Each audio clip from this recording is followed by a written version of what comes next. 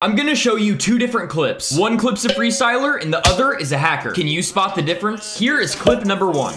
Really come from a block where they bang bang. I said that Glock with the Glock ain't no goalie, bro. Say you about what you claiming and show me the one had you die trying to toe to toe. Trench kid, no fucks, gotta run it up. If you thinking I'ma lose, then you never fuck. Power and them is ooh, belly my city, keep it smooth just to sum it up. No security, you see me, but that Glock spit. Youngest nigga doing it, that's why I pop shit.